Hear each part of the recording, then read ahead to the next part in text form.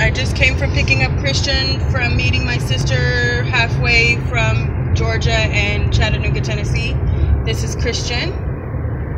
He's my son. We're going to take him to get his cast taken off and check if his thumb is healed. Show your cast.